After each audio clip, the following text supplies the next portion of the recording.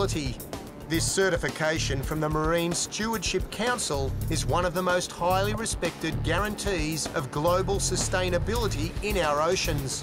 And today, Adam and I are going to see firsthand just how it works in practice. Over the expanse of this massive area, it doesn't get much more than seven feet deep. We're in 30 centimetres here now. Yeah, she's real shallow water. Wow. But Brendan doesn't mind working within tight limits of water or rules. In actual fact, the restrictions in that we have here really benefit us. You have certain size nets, so you allow smaller fish to grow to bigger fish. You can really farm the area without actually having to devastate it. Dead right. And those nets don't just catch sea mullet. Brendan, what sort of bycatch are you going to get out of this shot? We may catch an undersized crab, that might be as far as it'll go.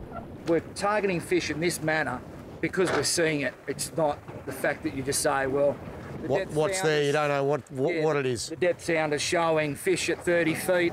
We run a net around it and whatever it is, we'll find out. So you know that there's mullet in this haul right here. I can tell you there is there is sea mullet in this shot and there is a little handful of yellow-eyed mullet, which Beautiful. is exactly what I'm, I'm chasing.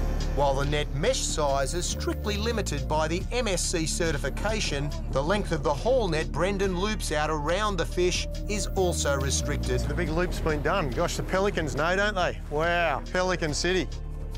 Oh, I can feel a bit of bit of bang, bang, bang in the net. And what size are you after? 30 odd? So all those little fellas are just straight through and we'll just sieve out what few good ones are here. And the mullet they net aren't just sea mullet.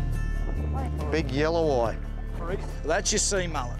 Okay, so the difference? We call them yellow eye because see how they have a brighter yellow eye? Yeah. And mullet's very broad in the head, whereas the yellow eye is a little bit narrower. Yes, okay. So these guys are really tasty. They are very nice eating, and, and And mullet are nice eating. And they're coming out of a very pristine estuary here, aren't they? Yeah, well, look at it, you know, sandy bottom. Super clear water. Yep, nice, colourful, and you know, we're we're laughing. What do you reckon, mate? Do you reckon you could do something with a fish like this? Oh, most definitely. I mean, fry it up. Sounds delightful. Yeah, it'd be pretty simple, I reckon. Really good size fillet off that. It's a nice firm fish as well. Yeah. All right, we've got a few more coming on board. Well, mate, you haven't done this before, have you? No, it's, uh, it's a new one in my line. Yeah. Different. It's good when you can come out and see the guys actually do it. Pretty handy old catch. And that's the beauty about it. You don't have to go out and kill those big bunches. And so where do you stop? I mean, where do you draw the line? If you're under a big patch of fish, do you just keep on catching them or you actually just head home? Today's probably a perfect example. I've got, I could probably stretch my orders to a maximum of 200 kilos. Yep. So that's probably what my target will be, is the So- 200. And after that, I'll just throw the end off and let these fish swim away for another day. And you also said that there's probably fish just swimming around in this big section here. They're not actually caught in the net. So you want to let those those go before they actually even get into the net.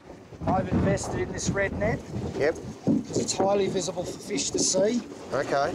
So unlike, you know, sort of other nets that are out there that are designed to be invisible, Yep. these fish are conti- continuously able to see the net and I can just see just continuously be observing the shot, gauging in the shot on how many I want. And right now, I've just untie the, the um, net off the boat. Yep. We'll just split it open and these fish open just any fish that are in here can just swim away. swim away.